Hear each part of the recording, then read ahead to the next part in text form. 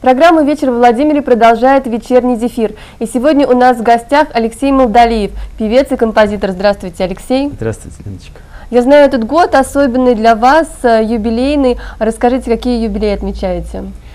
Ну, во-первых, э, самый главный юбилей, который был э, от Ялтинского конкурса с 91 -го года. Тогда был всесоюзный конкурс молодых исполнителей – это уже прошло 30 лет, вот э, я отметил. Вот. Ну, по, естественно, я потом перечислил все, на творческом вечере все конкурсы, которые у меня были последующие. А, вот. И э, как бы я работаю вот уже в культуре 35 лет. И как бы вот я все соединил и э, сделал. Э, творческий вечер у меня был в декабре, вот сейчас недавно творческий вечер был в Доме работников искусств. Вот, и тут у меня, ну, в общем, состоялась серия концертов, посвящена вот этим всем датам. Потому что э, работы было мало в связи с пандемией. И как бы вот я отсрочивал все эти даты. И получилось так, что вот э, декабрь и январь вот такие концерты. То есть вот посвящены вот этим юбилеям. Вот расскажите о Ялтинском всесоюзном конкурсе, давайте вспомним, ведь э, вы а, первый, можно сказать, Владимирский исполнитель, э, который получил такую престижную награду. Ну да, собственно говоря, я когда начинал вспоминать уже все значит, события, значит, 30 лет, которые прошли назад, какие-то уже что-то с памяти стирается, какие-то детали, потому что это было уже давно. Вот. А то, что это был конкурс, ну и для меня, конечно, был конкурс, он как бы не первый был, потому что первый был конкурс в 89 году. Э, это был конкурс э, польской песни вот в Рязани. Мы там стали лауреатами с Галей Орловой, э, Царствие Небесное. А потом уже вот этот такой конкурс ялтинский, я считал, что это уже профессиональный такой, хорошего уровня, достойный. Э, вот, мы, собственно говоря, э, попробовали, э, отправили материал, песни, и я вышел вот в отборочный, потом в финал. То есть вот как бы достаточно это было все и неожиданно, и, конечно, это все было волнительно, потому что тогда это был конкурс такой на Первом канале, его просто трансляции были ежедневные, и отборочные туры все трансляции были, да и не по одному дню. То есть это была достаточно нервная такая система-то. А кто в жюри был? В жюри э, был Игорь Крутой, э, Матецкий, э, Вячеслав Добрынин, Лайма Вайкули, Як Юалла, ну, кто-то еще, я уже, сейчас я, я уже не помню. А вот этот конкурс, например, в Ялте, что он вам дал? А, какие-то, может быть, перспективы открыл перед вами? Или, может быть, какое-то видение а, своей дальнейшей творческой жизни? Нет, ну, конечно, это, что говорить, это толчок. Это толчок очень хороший для э, какой-то творческой работы. Э, потому что, как и любой конкурс, э, не, для кого бы то ни было, э, любой конкурс является толчком и будоражит, потому что все-таки собираются участники, конкурсанты, общаются между собой.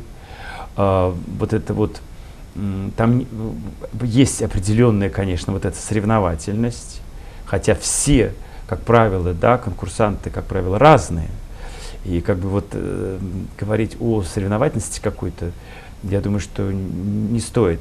А то, что вот происходит постоянный вот этот вот среди участников обмен, не только энергетический, а у каждого свой творческий подход, у каждого какие-то определенные песни, свои аранжировки. И вот это вот дает хороший тоже толчок. Ну и потом все-таки э, всесоюзный тогда конкурс, он, по-моему, был единственный тогда, который транслировался вот в таком широком формате. И он прозвучал потом уже во всех э, э, музыкальных программах нас, всех участников, победителей этого конкурса. Там и в утренней почте, в музыкальном киоске какие-то были программы, еще что-то. Ну, в общем, было везде. То есть это э, вот эта ситуация такая, вот какой бы взрыв, да, существовал вот у меня вот лично в моем таком психологическом аспекте. И это ответственность. Вот. А поскольку э, мы с ребятами играли, у нас был состав, конечно же, мы э, возникло желание что-то делать, обязательно относиться уже как-то по-особому к аранжировкам, делать новые песни, э, и свои, ну, играли, конечно, еще и другие популярные песни.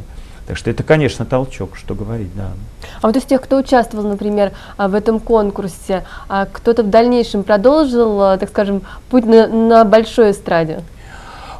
Конечно, продолжили, но э, как бы э, всем известен, конечно, вот Мурат Насыров, тоже Царство Небесный, талантливый человек, и он как бы там пошел в гору в какое-то время, и продюсер у него потом появился, и товарно-сырьевая биржа, которая была тоже спонсором нашего конкурса, она ему помогала, как, э, поскольку у него был гран-при, и там был уже с ними договор. И это было достаточно вот у него яркое потом после конкурсное было такое движение. Вот Марина Хлебникова, опять же, и сейчас вот до сих пор работает и Феликс Сарикати, а Света Кратеева, э, Лена Кузьмина часто тоже работает в Москве, но они э, больше всего, конечно, преподают. Олег Клип, педагог тоже по вокалу, у него тоже своя музыкальная э, школа вокала в Москве. Ну, как бы, если они сейчас не поют, но они сейчас уже педагоги достаточно грамотные, хорошие педагоги, поскольку у всех же образование музыкальное хорошее. Вот. А как бы половина участников, ну вот я, честно говоря, даже не знаю, вот Толя Шенберг, э, он сейчас работает с авторской песней. Но у него альбом он записывает авторской песни, он участвует, участвует э, в фестивалях авторской песни. Я вот с ним в соцсетях много общаюсь. То есть вот как бы люди, ну и вот на последний творческий вечер ко мне приехала Лиза Ахматова, тоже наш э, лауреат, она заслуженная артистка Э, Чечен, Чеченской республики, народная артистка Ингушетии, она вообще такая талантливая. И она вот приехала ко мне на концерт вот в Доме работников искусств, мы с ней там и спели, и она спела свои песни, она сама тоже как композитор работает, автор песен. Ну, кто-то работает, ну, чтобы так, чтобы быть вот звездами первого эшелона, к сожалению, э, у многих не получилось, потому что, извините меня, был 91 год, и это самое, это, по-моему, последний какой-то конкурс был при советской власти. И потом все это так рухнуло. Я еще удивляюсь, как там в Москве они сохранили как, какие-то свои вот эти вот э, места и свою работу. То есть я думаю, что это после э, путча это было достаточно тяжело. А, насколько я знаю, вы не только в конкурсе исполнителей участвовали, но и в конкурсе композиторов. Да, Конкурс композиторов э, был в 2011 году, и я стал победителем э, конкурса композиторов, который проходит в Санкт-Петербурге имени Андрея Павловича Петрова, композитора. И у меня там была, я там стал победителем, стал первое место с песней «Лето мое». Вот как проходят конкурсы исполнителей, вот лично мне а, более-менее понятно. А вот как проходят кон конкурсы композиторов? А, как выбирают лучших из лучших? Э, собирают тоже так же, собирают э, заявки, э, присылается материал, э, они его отслушивают, и потом из всех там сколько-то тысяч человек с России выбирают уже сколько, сколько там нас было, не помню около 20, что ли, человек или меньше. Вот. И э, причем все присылают свои заявки, свои песни под э, каким-то своим ником. То есть, э, то есть меня должны были давать не свои фа имена, фамилии, потому что наши песни там поют другие солисты э, питерские, и как бы вот под какими-то никами, значит, мы вот... А уже потом, когда победители объявляли, уже объявляли уже настоящие фамилии. Но это, конечно, было так интересно и азартно в то же время. Вот, наверное, все-таки юбилейный такой период – это время, когда можно оглянуться назад, можно выделить какие-то, например, этапы в творчестве, да, особо знаковые. Ну, дело в том, что этапы, у нас постоянные этапы, потому что э, сделал новую песню, записал уже этап – и как вот какие-то концерты юбилейные, пусть они юбилейные какие-то, вот к, своей, к своему дню рождения там у меня были тоже какие-то концерты, да. И материал, который идет вот к конкурсному юбилею. И потом э, презентация, например, альбома. У меня вышел альбом, да, например, «Мир моих грез» тоже был концерт. Значит, был э, презентация альбома «Откровение», значит, тоже концерт. То есть постоянные этапы, это вот как бы говорить о том, ну, как подводить итоги-то еще рано, как пела Эдита Нет, нужно нам на рано итоги и планировать дальше. Нет, ну конечно, я нет. Дело в том, что э, как творческий человек, вот я, например, да, в, в, своими музыкальными какими-то замашками, у меня постоянно существует вот эта работа музыкальная, и песенная, и э, с, со стихами, то есть у меня поэты, и с которыми я постоянно работаю, те которые стихи, которые я нахожу. То есть это постоянно идет какая-то работа, постоянно что-то ищу, постоянно что-то делаю. То есть это находится уже, это вторая натура, от этого никуда не денешься. Сейчас вот мы записали последнюю песню, я записал на стихи э, Виктора Николаевича Дюнина, песня, поэта-песенника, который очень много работал с Антоновым, сделал вот очень хорошие песни, там «Белый теплоход», э, с ансамблем «Аракс» они делали песни. Э, с чего бы все это, вот я тоже есть в репертуаре. И мы с ним познакомились, он мне предложил э, несколько стихов. Я записал песню на его стихи. Песня называется «Моя богиня». То есть лирическая такая композиция. Но тут достаточно красиво получилось, всем очень понравилось. И опять же, вот мы с Юрой Балажаровым познакомились в Питере, э, как раз на конкурсе композиторов. Он пишет стихи, э, они в основном э, пишут песни с Володей Евзеровым для вот Валерия, Валерия Люнтьева, э, много песен. И он мне дал первые песни, которые вот я записал, да, действительно, эта песня вот «Снегом замело». И она вошла в альбом «Откровение». А потом уже мы с Юрой, значит, нашли такой, давай что-то еще, ну давай вот это, давай вот это. То есть мы набрали на целый альбом песен, записали. И сделали уже альбом, вот в 2018 году мы презентовали его э, «Блуждающие звезды» альбом. То есть вот как бы происходят какие-то встречи и постоянные какие-то толчки, постоянные этапы. А говорить о том, что ну вот было там, да, там меня уже спрашивают, а на каком конкурсе вас какое место там, как я говорю, ну здесь ладно, в Ялте, я понимаю, у меня первое место там было. Потом э, в Сочи, в Гардемарине эстрады, я уже не помню, какое как не помню, я говорю, так, не помню, у меня дипломы лежат там, я, я даже не пос... забыл, ну, второе или третье. Там э, конкурс был эм, в Харькове в 95 году, конкурс имени Клавдии Ивановны Шульженко, тоже, тоже там лауреат, там вторая, что ли, привет, тоже первая, кстати. Вот уже не помню. А вот, кстати, по-моему, вы сейчас еще какую-то премию получили. Премия, да, меня наградили премией. Э, в области литературы и искусства, это областная премия э, имени Алексея Ивановича Фатьянова. А, потому что с Алексеем Ивановичем Фатьяновым меня связывает очень много с детства, очень хороших песен. Поэтому, когда вот э, я уже несколько раз принимал участие на Фатьяновском празднике поэзии песни Вязниках, я вот пою песни стихи Фатьянова. И мало того, что мы, я уже сделал то три песни на стихи Фатьянова, э, как бы вот свои. Вот Аня, внучка поэта, она, значит, вот мне э, предложила, говорит, Леша, такие стихи вот хорошие, может быть, получится. Я смотрю, говорю, очень, очень хорошо получится. Я даже не сомневаюсь. И получилась песня «Русская девушка» на стихи Алексея Ивановича.